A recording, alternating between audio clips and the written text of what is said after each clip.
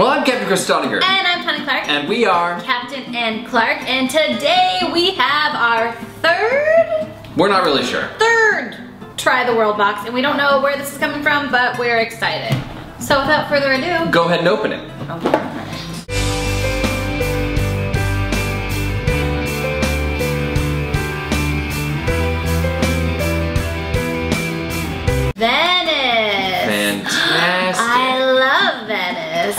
Uh, like all subscription boxes, it comes with recipes and playlists and movies. Oops. I like Venice. So for those of you who don't know, Try the World is uh, a little slice of a different place, and they send you, what is it, bi-monthly? Bi-monthly. A bi-monthly box straight to your door, and it's your chance to travel without ever leaving the apartment. And you get to eat all the things. All right, so let's see what we have today that's delicious. Like that. It is, it's coffee.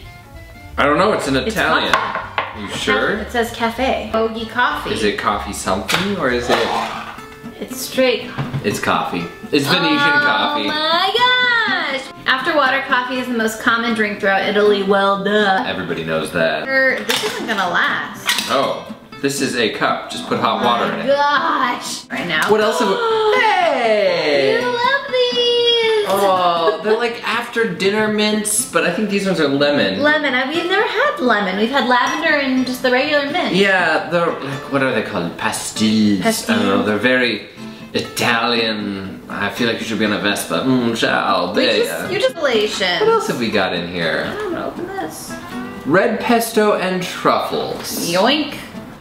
Everything is in Italian. Because it's a, that's what I love about the Try the World boxes. I mean, these things are straight from the places that they come from. And so they could be difficult to read, but that's what you have your key for.